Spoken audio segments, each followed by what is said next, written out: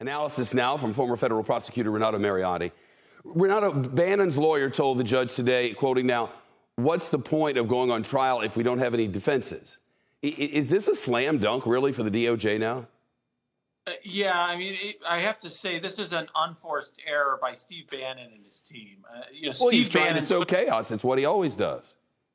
Well, I think that Steve Bannon has uh, pursued a very unsophisticated strategy here. That's who he is. That's what he always does, uh, as you point out. But I think uh, the reality here is when you're dealing with uh, a Congress and a Justice Department that it's going to move forward and, and try to enforce its right to this testimony, uh, a more sophisticated approach was warranted. And now I think he really doesn't have much to say at trial. The best move might actually be a blind plea of guilty in cooperation with the committee. Huh. You know, you know, he, Bannon says he wants to testify live, which of course he does. Imagine that scene. The committee wants him private. What should the committee's next move be, Renato?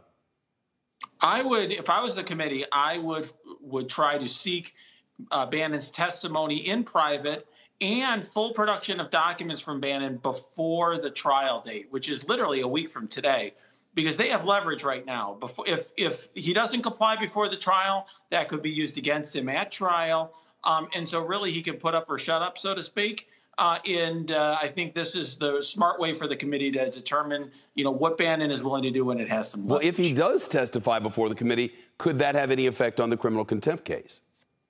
Well, the, the the the judge says that the Bannon team can't use that in the trial. That's what he ruled today. As you pointed out, he pretty much lost uh, entirely a trial or in the uh, courtroom today. However, a smart defense attorney could try to sneak in the fact that he is now cooperating or find a way to get that before the jury. Could potentially influence things. No matter what, it would definitely influence the judge's sentence. I mm. think if Bannon did come around. Renato Mariotti, thanks very much.